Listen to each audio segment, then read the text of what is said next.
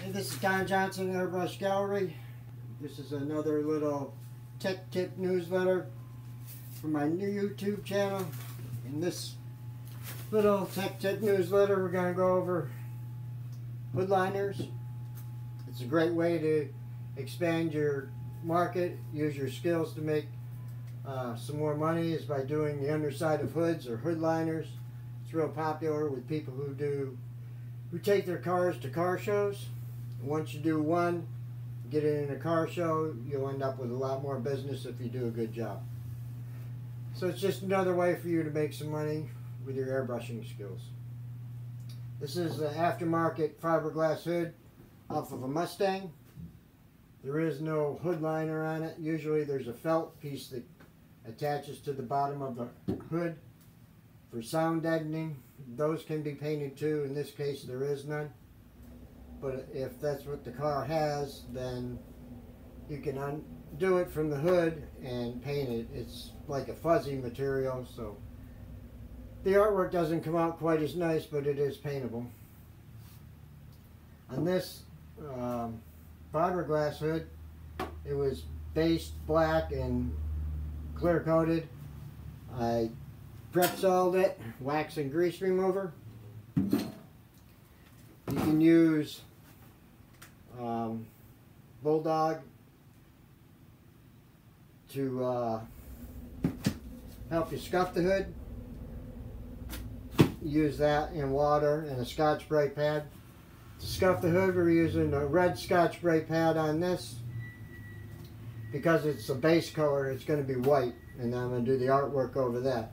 But if I was going to spray this a metallic color, you'd want to use a less aggressive Scotch-Brite pad, an ultra-fine Scotch-Brite pad so that uh, it won't so show the scratches. If you use aggressive Scotch-Brite pad like this and spray a metallic cover color over it like silver, it's going to show every scratch. So if you're using a metallic paint or color, you want to use the ultrafine.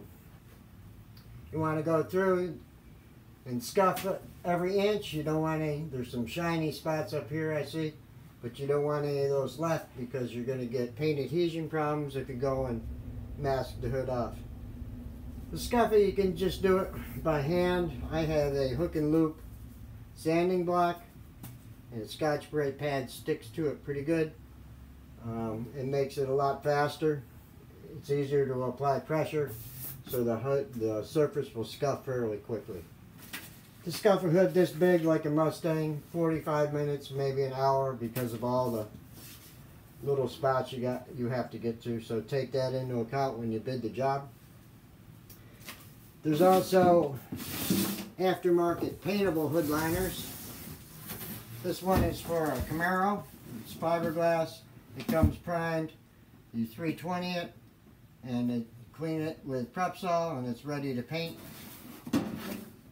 It, this one was made by a company, I'll show you the box so you can get the dot .com off of it. Right here. So you can check with these people. They make different models or different hood liners for different model cars.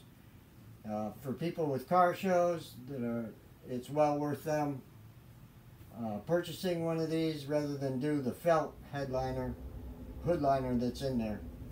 This is that fiberglass hood liner. It comes primed and ready to go. So that's my tech tip on doing hood liners for car shows.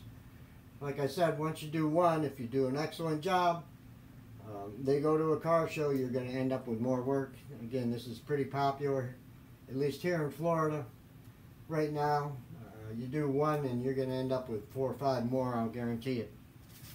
So remember about the difference in the Scotch-Brite pads and base coat and metallic colors.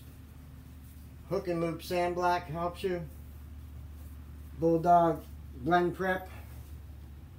You just dip your uh, Scotch-Brite pad in here in a bucket of water and it'll help uh, speed up the whole process of, of uh, scuffing it.